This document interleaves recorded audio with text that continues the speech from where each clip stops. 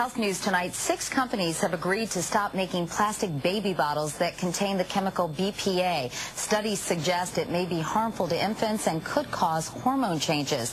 The agreement came after several states asked the companies to stop production.